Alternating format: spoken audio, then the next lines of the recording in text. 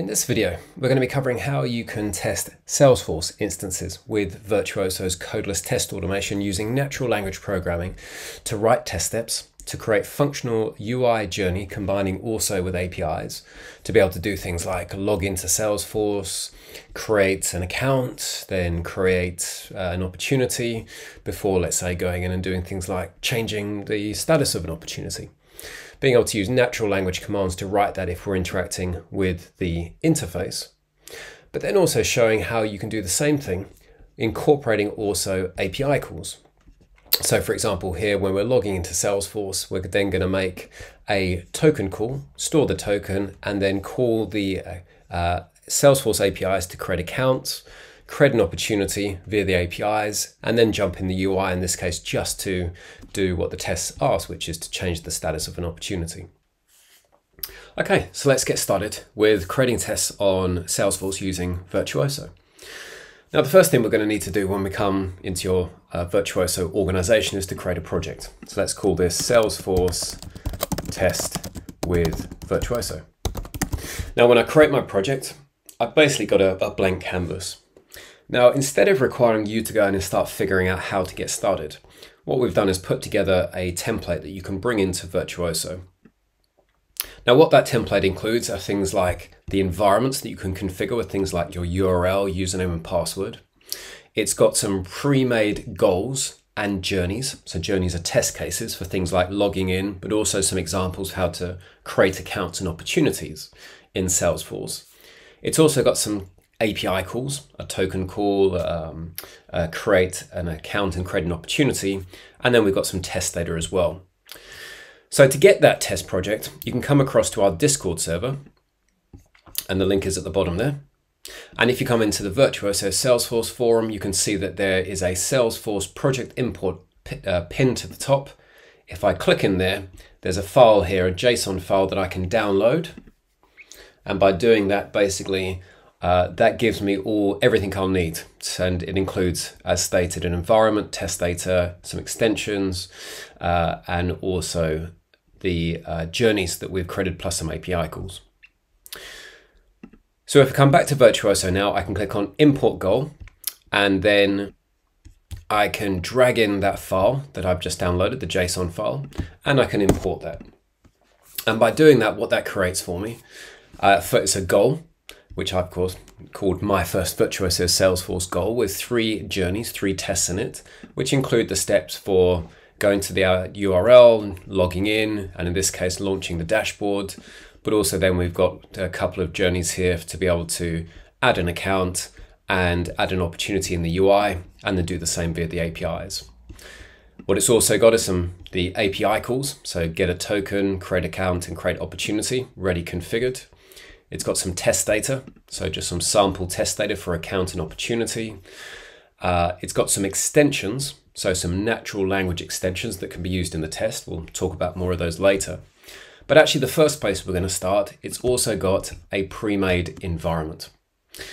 And so simply this is kind of the key place to start because if you go ahead and it's already got the login.salesforce, you can change that to your base URL if you like.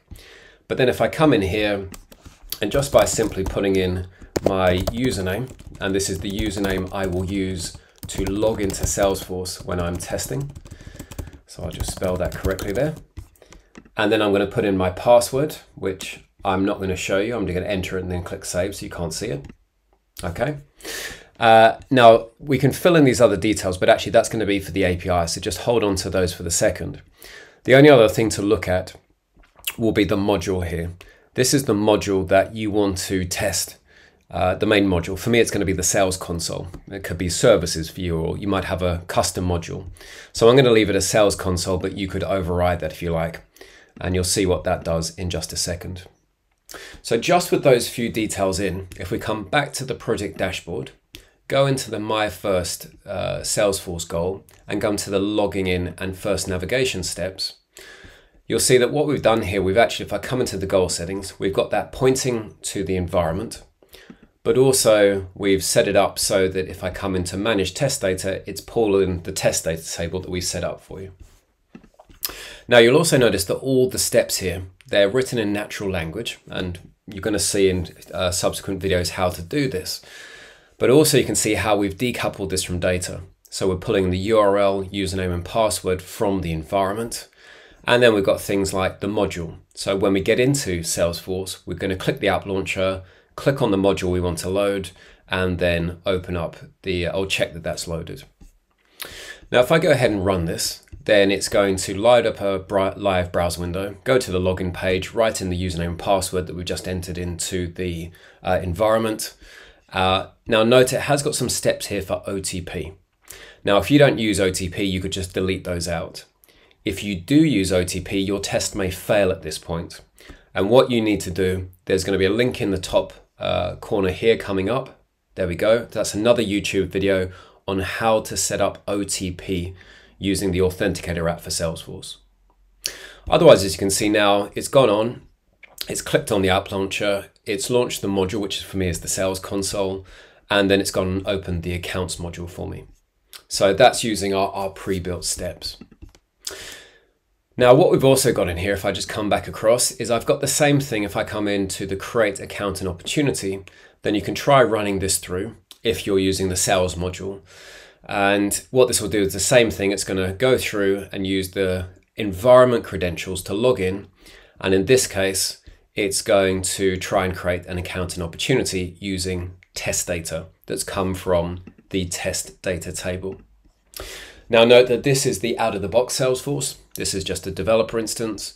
So if you have customized this tool, if you are creating an accounts and opportunity, then you may need to insert or change some steps here. Now the purpose of this video, however, is just to get you started so that you can get logged in, including if you did that OTP step, so that you can basically get into your Salesforce instance. The next thing we're going to look at in the next video is actually and having logged in, how you can then uh, create what we call library checkpoints, but also how you can write steps in natural language to do things like create accounts, for example. So that's going to be our very next video we're covering off.